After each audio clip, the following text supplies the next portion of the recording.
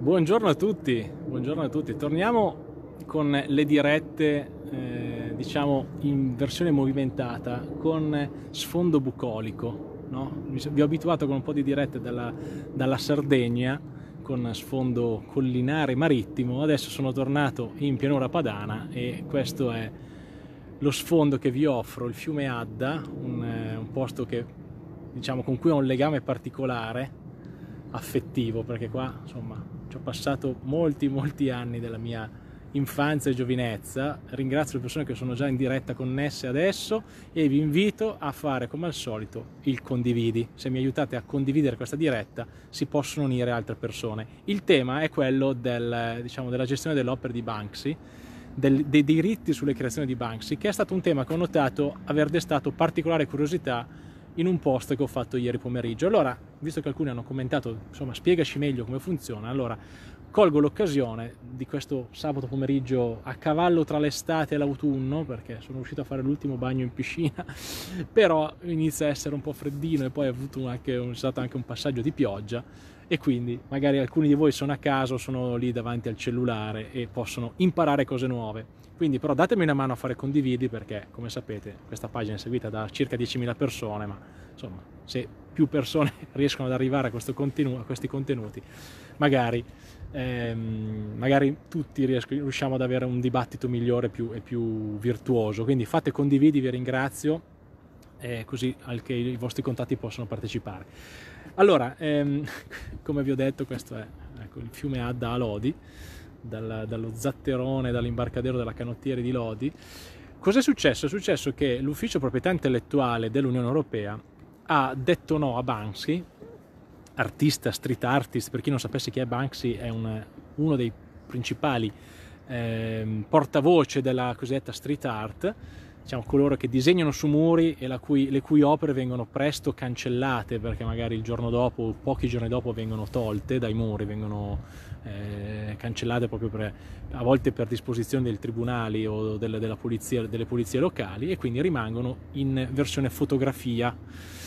e, e, questo è un modo di fare arte particolare, effimero, in cui a volte gli stessi street artist dichiarano di non volersi, di non volersi diciamo di non voler sottostare alle classiche regole della proprietà intellettuale del diritto d'autore. Banks in una sua dichiarazione riportata più volte dichiara che il copyright è per perdenti, è per sfigati, no? per loser che tecnicamente si traduce perdenti ma ha più un valore di sfigato per la nostra, per la nostra accezione. E cosa è successo? Che ehm, si è replicato un po' lo stesso eh, tema, si è rivisto lo stesso tema che avevamo visto in una sentenza risalente al 2000, una sentenza del Tribunale di, eh, specializzato in proprietà intellettuale di Milano che si era occupato del caso Banksy per i suoi rapporti con eh, la, la società che aveva organizzato la mostra al MUDEC. Se vi ricordate, tra la fine del 2018 e l'inizio, del 2019 c'era stata una mostra molto importante su Banksy con le sue opere eh, e con opere legate alla sua attività ehm, organizzata al MUDEC di Milano. E eh, su quella mostra si era creato un contenzioso che adesso vi andrò a raccontare perché alcuni, ieri ho postato appunto la, la, la, mm, il testo della sentenza del Tribunale di Milano e alcuni mi hanno detto no, dacci una mano a capire questa cosa perché la sentenza è complessa, è lunga, sono 14 pagine, non è così lunga in realtà rispetto ad altre sentenze, però adesso vi spiego un po' cosa è successo. Però quello che mh, mm, si è rivisto anche in quest'ultima notizia di questi giorni, cioè del Tribunale, eh, scusate, Tribunale dell'Ufficio Proprietà Intellettuale del, dell'Unione Europea, ehm, che ha rifiutato una registrazione di marchio, è più o meno simile, ovvero Banksy cerca di tutelare le sue opere sovrapponendo da un lato il diritto d'autore, dall'altro il diritto dei marchi e lo fa in un modo un po' difficile, un po' complesso e appunto a volte poco praticabile. Perché da un lato cosa possiamo dire? Allora, lato diritto d'autore, innanzitutto è difficile per un artista che dichiara pubblicamente di non voler reclamare nessun diritto d'autore sulle sue opere perché il diritto d'autore è da sfigati, è difficile poi ad un certo punto utilizzare quello strumento per inibire utilizzi delle sue opere che non sono a lui gradite o che stanno diventando, stanno sfuggendo dall'ambito del, del, della divulgazione culturale diventando commerciali. Allora, dall'altro cerca di sovrapporre a questa tutela classica che si, si, ci si potrebbe aspettare per le opere eh, creative come le sue opere di, diciamo, pittoriche, che appunto ricadono squisitamente sotto il diritto d'autore, cerca di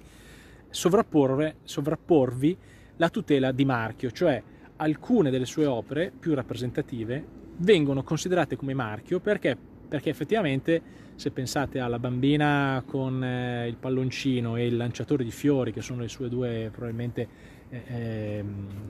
opere più rappresentative e più iconiche intanto mi muovo un po' se no vi annoiate. E, ehm, quelle eh, risultano hanno una cosiddetta capacità distintiva, una, un certo impatto sul, eh, su, sul, pubblico da poter essere considerate anche, anche, marchio commerciale. Pensate a lanciatore di fiori usato per fare le magliette, per fare i cappellini, per fare le, i, i, che so, i portachiavi e il merchandising legato ad una mostra, che è esattamente quello che è successo a Milano. Cioè a Milano la mostra non era organizzata da Banksy, perché lui in quanto street artist non organizza mostre, eh, cioè, ne, allora, le organizza ma non tutte quelle che vedete che parlano delle sue, delle sue opere. Quindi a volte ci sono soggetti che in autonomia decidono di organizzare una mostra su Banksy e non tanto di Banksy, ehm, utilizzando le sue opere e quindi appunto eh, facendo affidamento sul fatto che lui non reclami un copyright, un diritto d'autore sulle sue, sulle sue creazioni. Qual è il discorso? Che poi quando organizza una mostra normalmente una società, in questo caso era una società legata al gruppo Sole 24 Ore nel caso italiano, realizza anche il merchandising della mostra, quindi non solo il catalogo con le opere, quindi un'opera diciamo editoriale, ma anche, come dicevo, eh, cappellini, magliette, spillette, quadernetti, portachiavi, ehm, no, la, le penne, la chiavetta USB, con indicato il nome di Banksy o addirittura la firma di Banksy o addirittura appunto le, ehm, le sue opere principali. In quel caso le opere non vengono utilizzate in quanto opere creative, non è una vera e propria riproduzione di opera creativa, nel senso che non è che sto facendo copie del quadro da appendere, ma divent- l'opera è diventata anche marchio commerciale perché distingue un prodotto e fa pensare che quel prodotto venga in qualche modo da Banksy. Quindi questo va più a toccare le corde tipiche del, del, del diritto dei cosiddetti segni distintivi, cioè l'opera dell'ingegno, l'opera creativa diventa, assurge, assume anche una funzione di marchio distintivo. È quello che è successo ad esempio con alcuni personaggi, che ne so, dei fumetti, no? Pensate a Hello Kitty, Hello Kitty è un gattino di, di, di un fumetto, eh, di un cartone animato, che però poi è stato sradicato completamente dalla sua, dalla sua um, origine, eh, diciamo, contesto originario di, di, Gattino che partecipa a questo, a questo, cartone animato, a questi fumetti, e è stato messo come eh, diciamo, marchio per eh, qualsiasi cosa. Addirittura ho visto che Fender aveva fatto, se cercate c'è una Fender Stratocaster eh, modello Hello Kitty, oppure c'è stato in un certo periodo gli assorbenti di Hello Kitty, ok?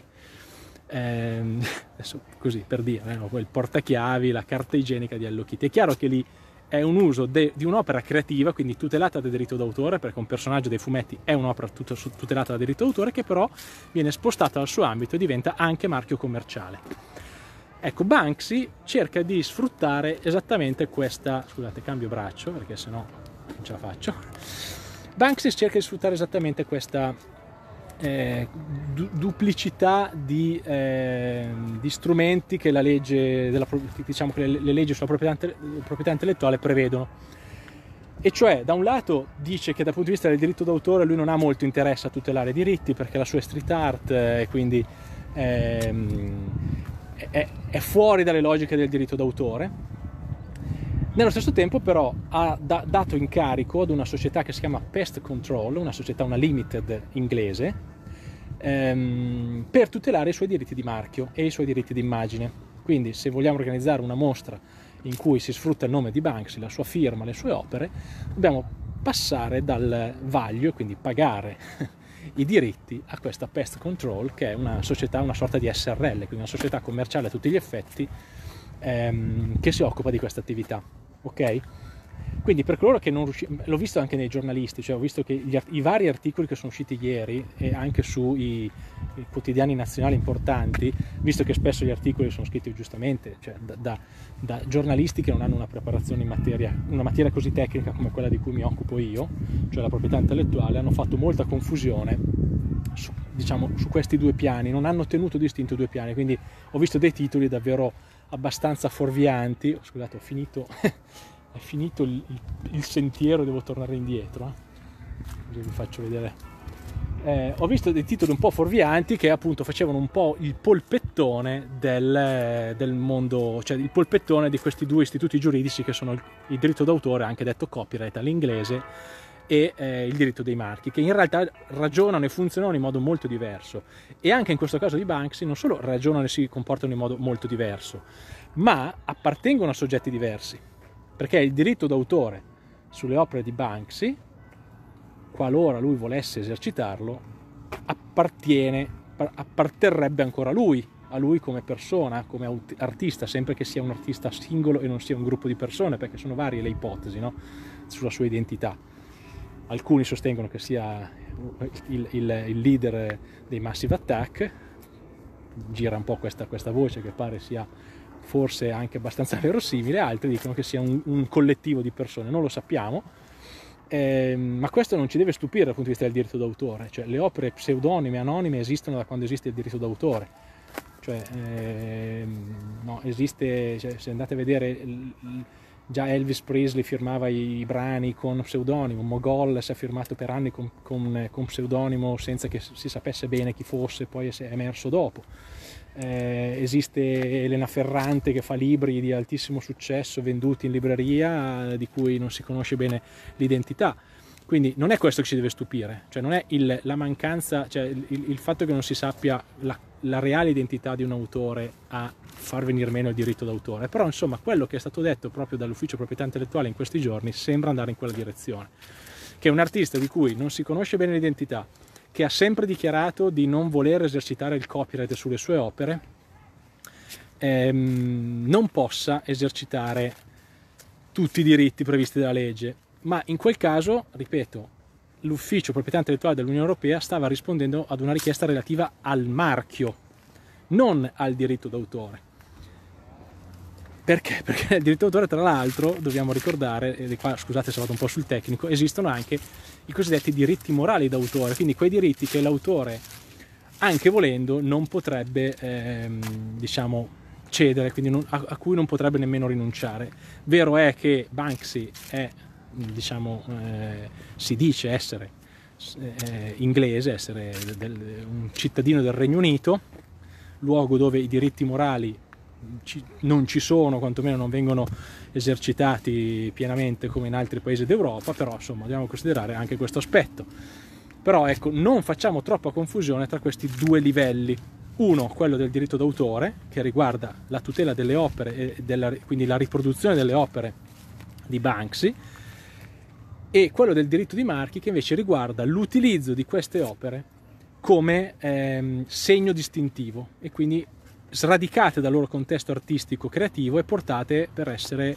eh, eh, diciamo per, per, fregiare prodotti, per fregiare aggeggi vari, cappellini, magliette. Um, su questo Banksy è sempre stato abbastanza restrittivo, cioè da lato dal punto di vista del diritto d'autore ha sempre detto non mi interessa esercitarlo, dal punto di vista del diritto di marchio invece Banksy non gradisce che le sue opere vengano depredate da soggetti commerciali per realizzare appunto merchandising senza che a lui venga, venga, qualcosa in tasca. Allora ha creato questa pest control, questa società commerciale che invece ha il compito esattamente di fare questo,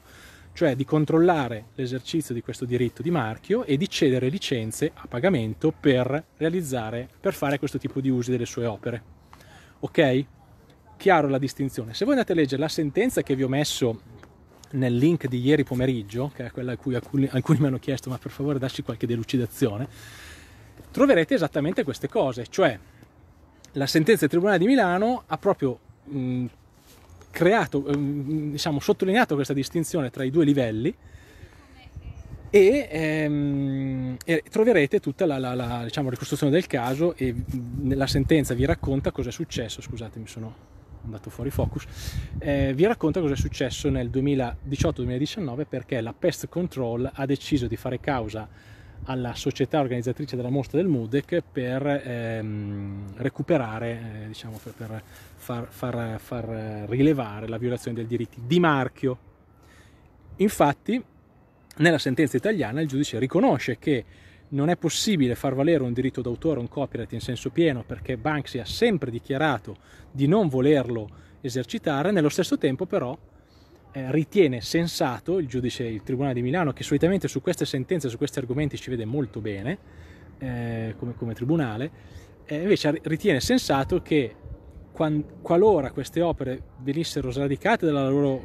loro, contesto creativo e usate come segno distintivo, quindi come marchio, in un ambito quindi diverso, con diritti diversi, in quel caso ha senso tutelarle.